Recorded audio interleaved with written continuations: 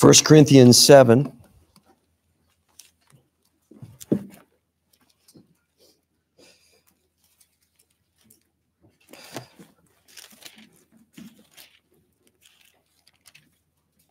You know, last week we uh, we talked about uh, just the thought of uh, uh, don't look, and we talked about uh, you know the the necessity of of uh, especially in our society more so than ever.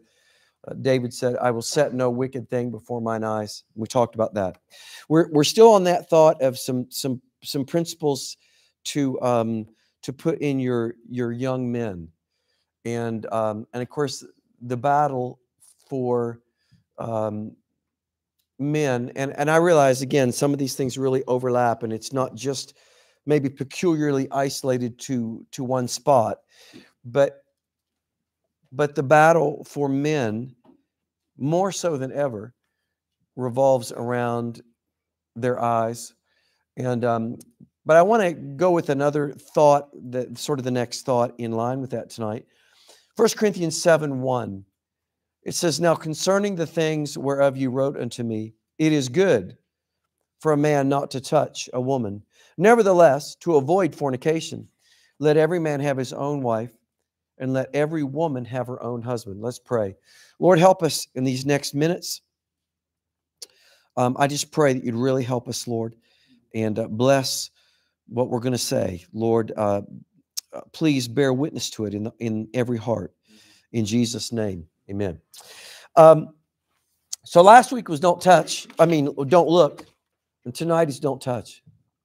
Um, 1 Corinthians 7 1 says, Now concerning the things whereof you wrote unto me, it is good for a man not to touch a woman. Um, and you have to ask some folks, of course, we're talking about Christians. But you know, you have to ask some folks, um, does that verse mean anything to you?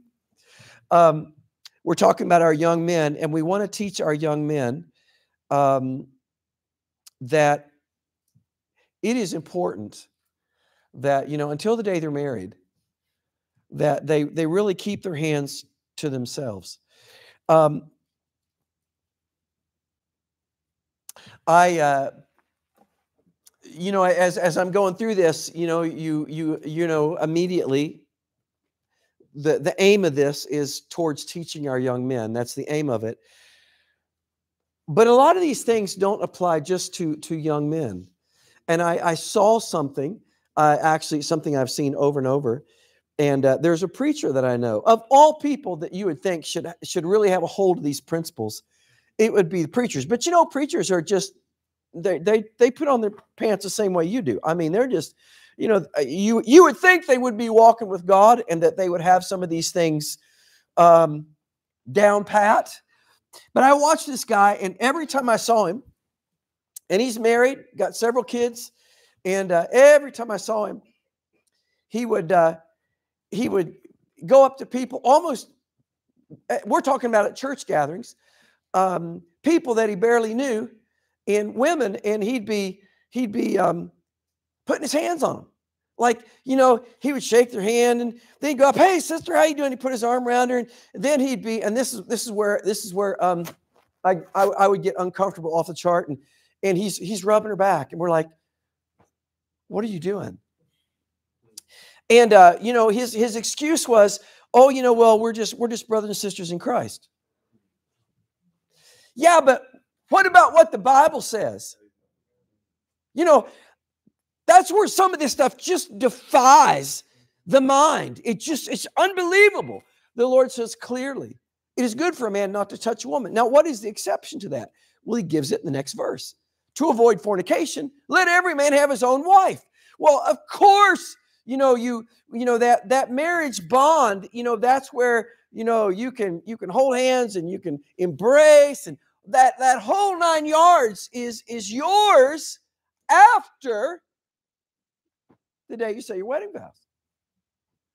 Um, I watched the same guy, and it was it was it was sad, but it was comical. Um, and it was comical because this how this lady instantly reacted. The same the same preacher, a big big church gathering. I mean, there's a, a big a big revival meeting kind of thing, and they're having a dinner after one of the services. They have one of the guest evangelists there. The guest evangelist is probably around 70, and his wife was a little younger.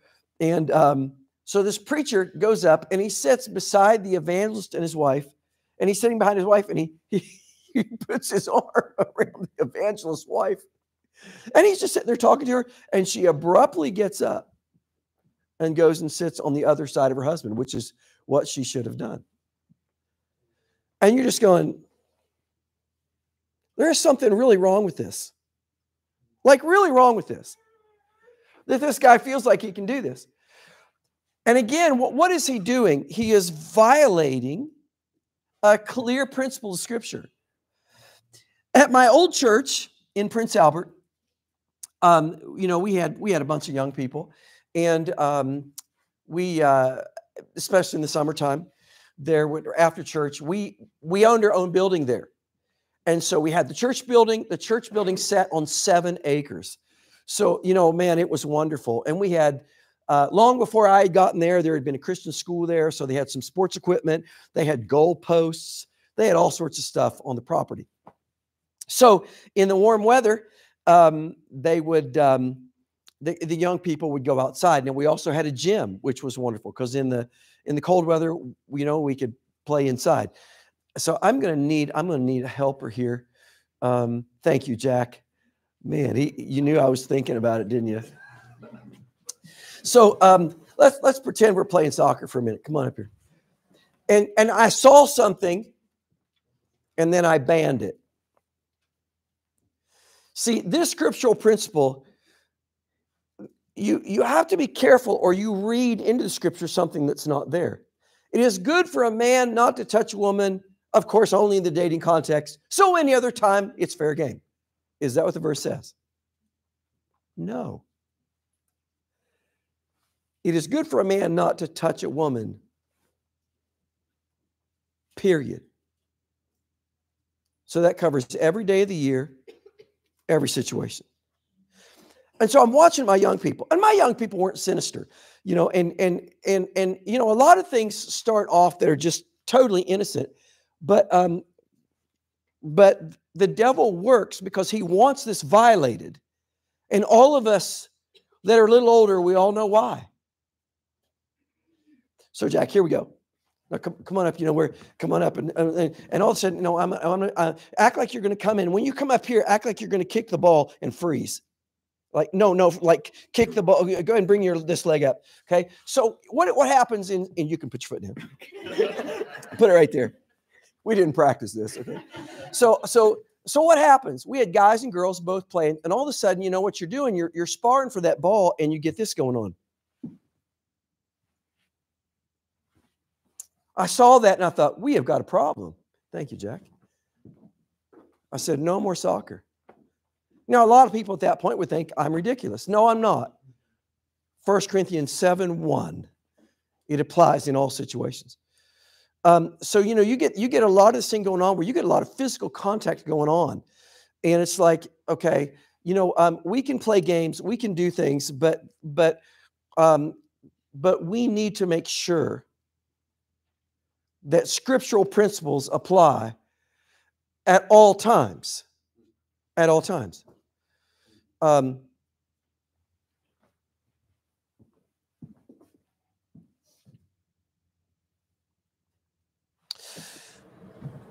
in, in the you know in the in the whole dating context i'm just going to say this and quickly move on and all of you that that are married you understand all this very well uh, but you know you uh, you know there's a lot of dispute over this. There again, it's because people do not literally apply. They just they get this this approach in their mind where they they start doing tap dances and then they then then they're hunting for an excuse and that's where you get all these oh well you know back in that day in the culture and no the wording of the verse is very clear it's clear for all time and eternity the Lord made it so crystal clear that you couldn't miss it unless you were going to miss it on purpose. You know, you get, oh, you know, well, it, it's okay to hold hands, you know. Well, you know, they're engaged and, and they're just going to hold hands or, or, you know, it's, it's okay, you know, just, just, Okay, all of us that have been down that road,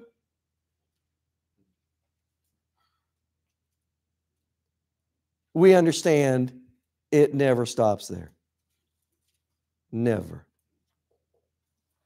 That's why God said, God said, if you don't get on the road, you don't wind up at a destination that you don't want to wind up at.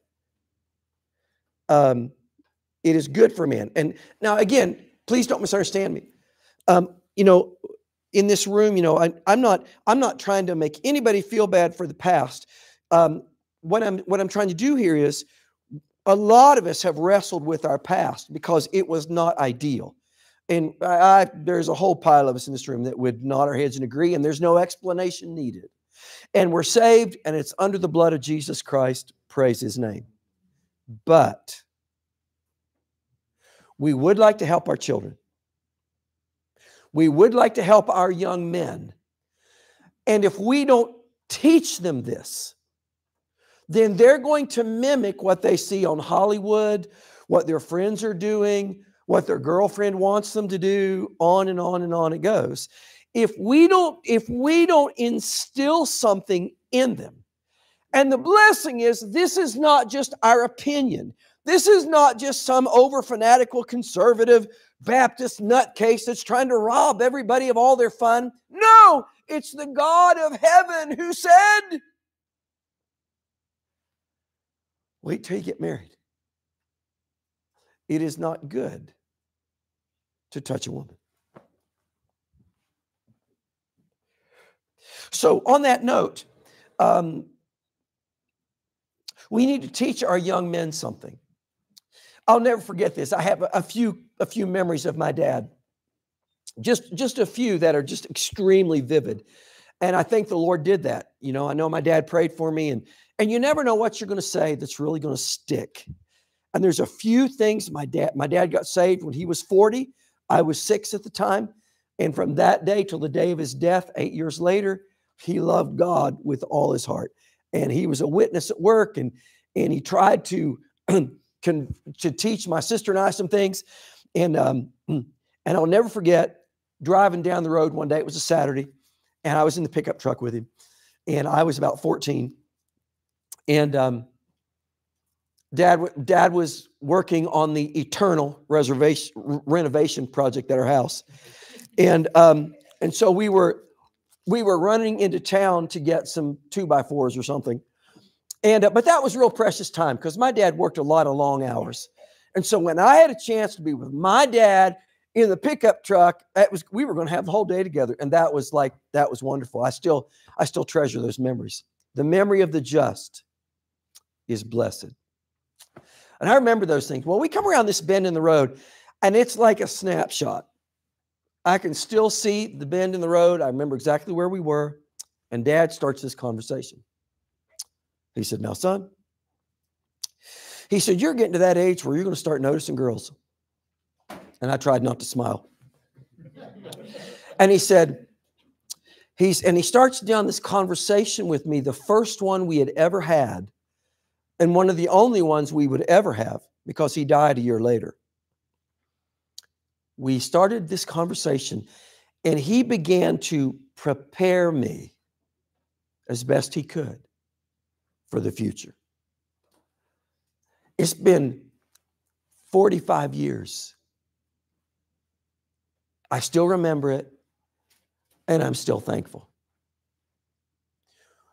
You know, some of your best time with your sons, moms or dads, um, it's not always, you know, um, it, it sometimes it's just the Bible says, Deuteronomy 6, talk of these things when thou walkest by the way. Sometimes God will just give you an opportunity. You'll be out at the store, you'll be driving down the road, and boy, just something comes up. And man, God can use that. So, so be on the lookout for those God given, pray for those God given opportunities because some of those things will really bless your, your boys and your girls.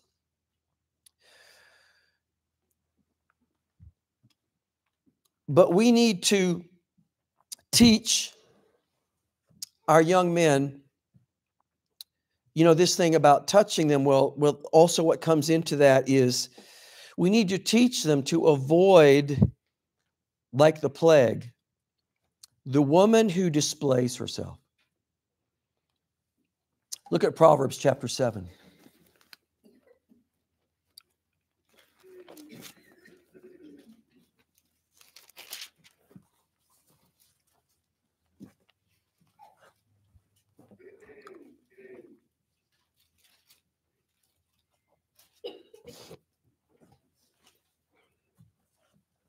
Proverbs chapter 7.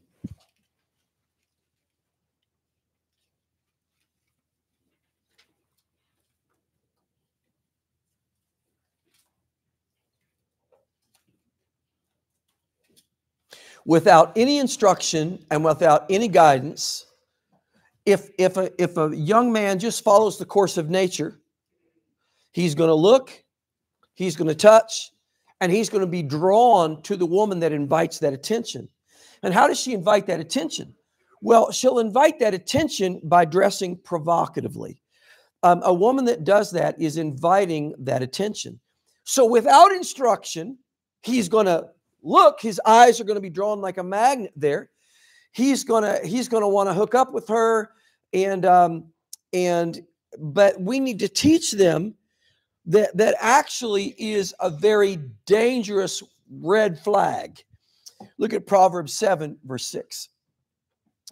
Solomon said, For at the window of my house I look through my casement and beheld among the simple ones, I discerned among the youths a young man void of understanding. In other words, he was clueless, had no instruction, didn't understand what he was doing. Verse 8 passing through the street near her corner. And he went the way to her house in the twilight, in the evening, in the black and dark night. And behold, there met him a woman with the, and it's interesting. Notice the wording. He doesn't say, and there met him an harlot. Well, okay. But the Holy Ghost draws attention to something. There met him a woman with the attire of an harlot and subtle of heart. She is loud and stubborn, and her feet abide not in her house. Uh, we need to warn them about the woman that dresses seductively, dresses provocatively. She wears tight stuff. She's got low neck. She's she's you know dressing to accentuate her body shape and all that stuff. Um,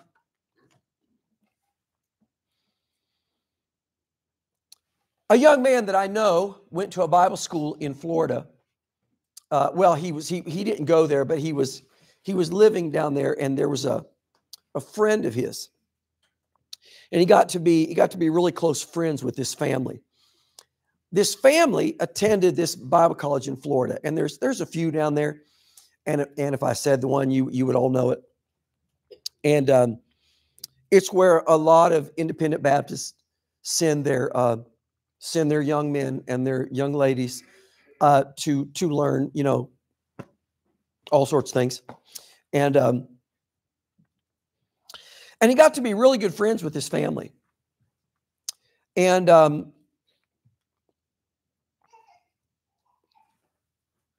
this family had a teenage daughter that really wanted his attention,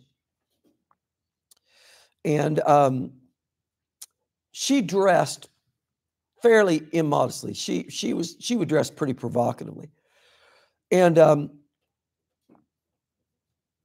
so he had this conversation with her, and he said, "You know, th- this really isn't good. You know, do, do you realize?" And and he let her know because she she was really trying to bait him, and he wasn't interested. And so he told her. He said, "Look," he said, "I'm I'm really not interested." He said, he said, you know, I, I, I know you like me and all that. And he says, he says, I'm, I'm flattered by all that, but I, but I'm not interested. And he said, but do you realize what you're doing by the way you're dressing? And here was her answer. She said, yes, I do. And nobody's going to tell me how to dress. Which means any young man with any sense, but he's how is he going to have that? Only if his parents have drilled some things into his head that he should avoid her like the plague. Here's why. Here's why. She dresses like that before they're married. She insists that nobody's going to tell her how to dress. So, what does that translate into after marriage? She continues to dress that way. That doesn't stop because now she's married. Oh, no. Because she likes that attention. And she likes, and, and, and this is crazy. Um, you know, when you understand what's going on in all these men's heads that are looking at her, but she likes that attention. And you know what? Um, she's not, she's never going to be satisfied with just her husband looking at her. You know what? You don't want your son married girl like that.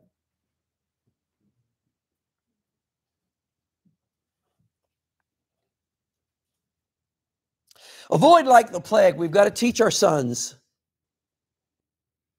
Don't misunderstand me. Of course, she's she's pretty. She dresses nice. You know, oh sure, that's great. We're talking about dressing provocatively. You understand the difference. We've got to teach them to avoid like the plague, the woman that displays herself. But we must also teach them, we're talking about don't touch. Avoid like the plague, the woman who is overly friendly and very touchy. Let's read on in this same chapter. All right. Verse uh, verse 11. She is loud and stubborn, Proverbs 7. Her feet abide not in her house. Now is she without, now in the streets, and lieth in wait at every corner. Now watch. So she caught him and kissed him and with an impudent face that means just very bold like over the top no no inhibition whatsoever and with an impudent face said unto him i have peace offerings with me. This day have i paid my vows. Therefore came i forth to meet thee diligently to seek thy face. Man she is laying it on thick. She is flattering him. She says oh i've been waiting for you. And i have found thee verse 16 i have decked my bed with coverings of tapestry. Now she's luring him in. Verse 17, I have perfumed my bed with myrrh, aloes, and cinnamon. Come, let us take our fill of love until the morning. Notice in verse 13 what she did. She caught him. And you say, well, that just means, you know, no, no, no. It, she, she, she initiated the physical contact. She caught him and she kissed him. You know, the Bible is very up to date, very current. Um, I think it was um, my third year of Bible school. Um, there were new new people coming in, and there was um, married young married couples that were coming also. And I remember meeting this this married couple one evening. It was just right before the semester started, and um, Mitzi and I lived there in Massillon, Ohio, so we we lived right there near the school. And um, so there was this thing, you know, when a whole bunch of married couples got together. Well, we met this couple, and and you know they they seemed nice enough. They were actually very nice, very friendly, and we had a great time. And um, we got talking about how we all met. So here's how they met. She's in a laundromat doing her clothes. Some of you kids don't know what that is, but anyway. She's in a laundromat, and he's in a he's in the laundromat. Well, she's looking over there, and she thinks this guy's really cute, you know, and and uh, she goes over, strikes up a conversation, and before she leaves the laundromat, she grabs him and she plants a big one on him. She kisses him. Proverbs 7. She's a believer. She's not a hooker. See, you read these passages and you think, oh, well, that's just. No! God wrote that to tell you something. She's Christian. He's Christian. She grabs him. She caught him, verse 13, and kissed him. Next thing you know, they're seeing each other. Next thing you know, they're married. So they wind up at Bible school. Can I tell you how long the marriage lasted? I think it lasted two years. By this time, they're both about 30. And she dumps him for a 19 year old.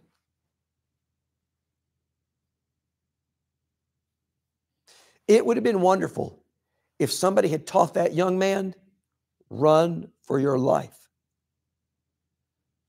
But nobody had taught him that.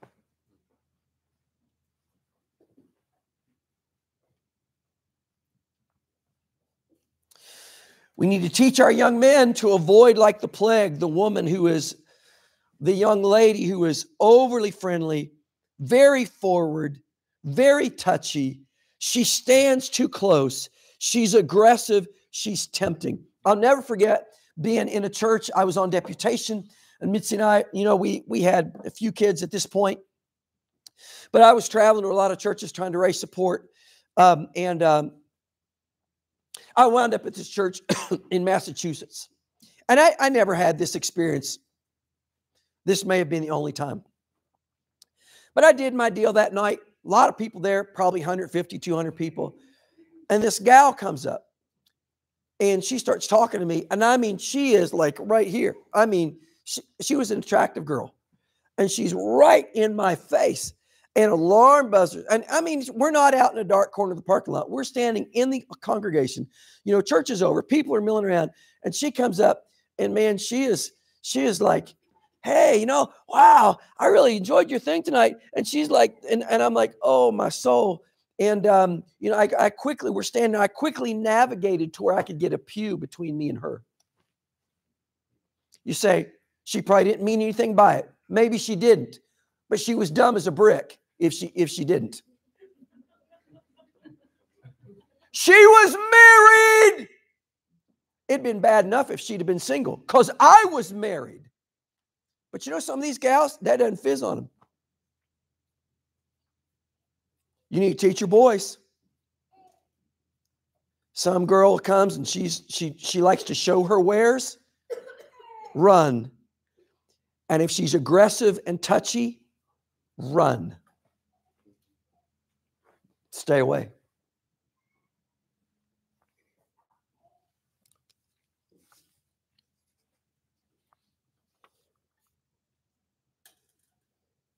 Look at Proverbs 5, and we'll be done for tonight.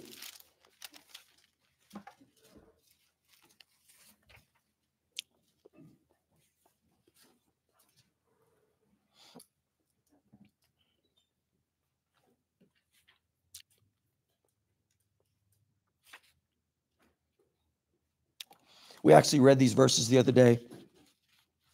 But, uh, but we're, we're talking about our young men tonight. Somebody said the book of Proverbs is actually divided in three sections, and it sort of looks like it is.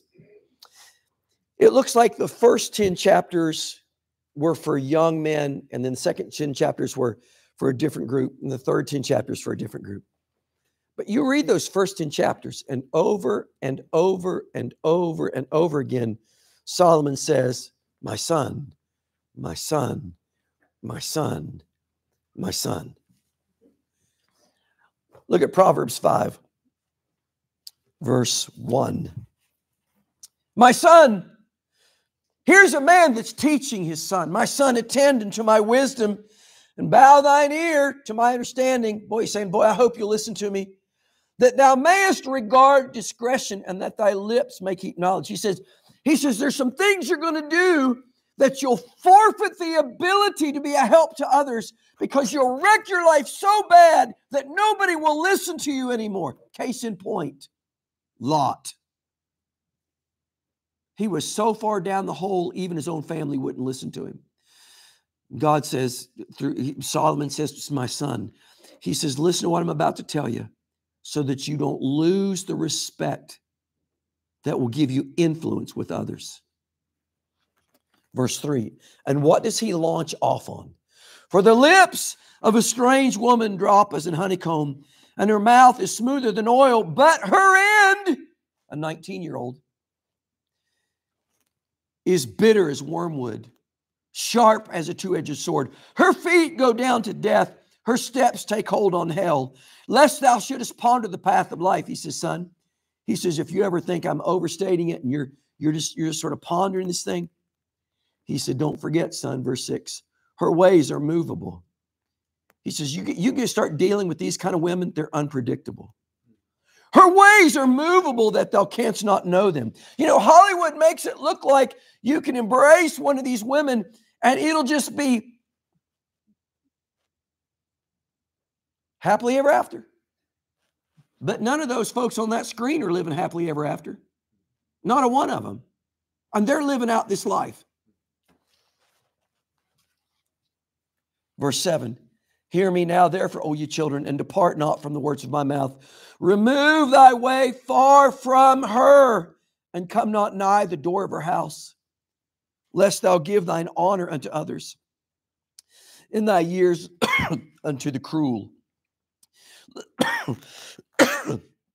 lest strangers be filled with thy wealth, and thy labors be in the house of a stranger, and thou mourn at the last when thy flesh and thy body are consumed and say, How have I hated instruction? They come to the end of their life and they say, Boy, I should have listened. Boy, I wish I'd listened. How have I hated instruction and my heart despised reproof and have not obeyed the voice of my teachers, nor inclined mine ear to them that instructed me. We're going to stop there tonight. So when you teach our young men, don't look. But we also need to teach them don't touch. Let's pray.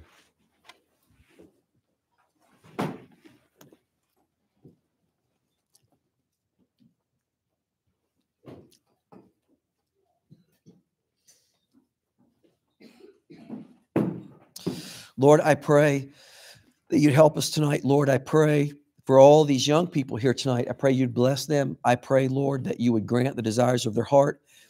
I pray, Lord, that um, Lord they would find that that man or that woman that they they dream about, that they long for.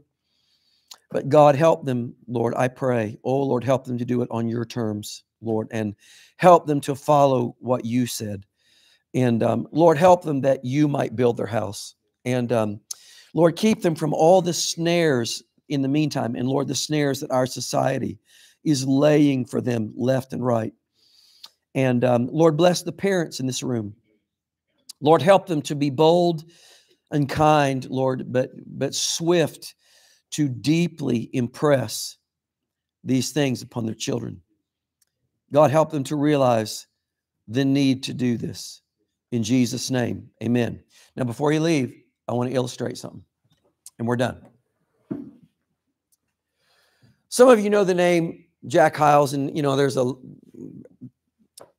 But brother, brother Jack Hyles was was a great preacher, especially back in the in the 60s and 70s and 80s, and he built a great work.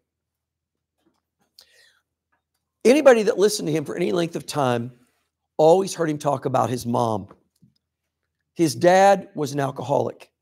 His dad walked out on them very early when he was still a small child. His mother recognized the damage that liquor had done. Here's what I'm here's what I'm getting at. We're talking about teaching your kids don't look and don't touch. And you think, how do you do that? And how extreme and how can I tell you with some of these things? Um, I, I suppose you could go overboard, but I just don't know of very many people that ever come close to that. And Jack Hyles' mom so hated liquor because of what it had done to her and what it had done to their family. And this was Jack Hyles' earliest memories. He said, I remember, he said, my mom would go to the store and she'd get a magazine. And, and uh, back in those days, this was very common. The magazines would have full page liquor ads. You know, there'd be a great big picture of a bottle of whiskey or something. And he said, I remember my mom would tear that page out and she'd put it on the ground. And she'd look at me and she'd say, Now, Jackie boy, see that? And, little Jack, uh-huh. he said, "Now, Jackie boy, that's that's liquor, that's whiskey, that's bad beer, that's bad. It's bad, bad, bad, bad liquor, bad." And she'd say, "Now, Johnny, now, now, Jackie boy, you do that. Come on here, say say liquor bad," and he'd say liquor bad. She said, "Stomp on it, John, Jackie, stomp on it." He said, "That's how I grew up." He said, "Can I tell you, liquor was never a temptation." she taught me. Let me encourage you. You can teach them with a smile on your face, but we need to teach them. God bless you. You're dismissed.